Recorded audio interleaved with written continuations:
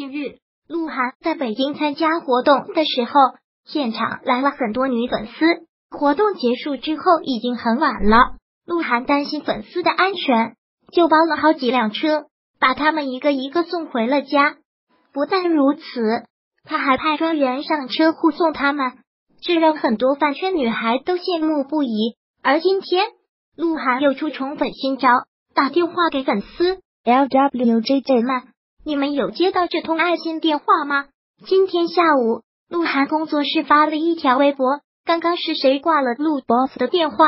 原来，鹿晗为了演唱会，亲自给幸运的粉丝打去了电话。询问想在演唱会想听什么歌，却不料因为相当病气的粉丝，却直接将电话挂断了，还被工作室发微博寻人。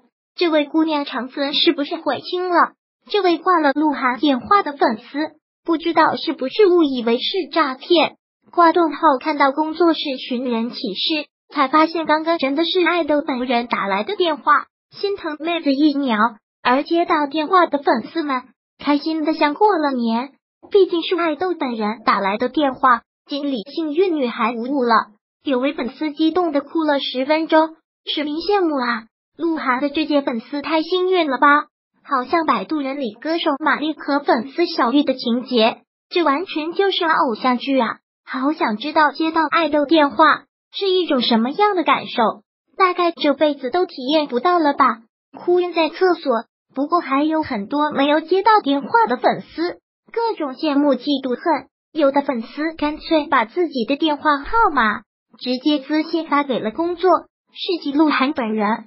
不过这样暴露自己的个人信息的行为不值得提倡，也会给工作室和鹿晗本人造成困扰。还是要提倡理智追星，运营审核，呢喃内容编辑，陌上遇正能量追星，陪你放爱豆。粉丝福利抢先享，爱豆资讯一手抓。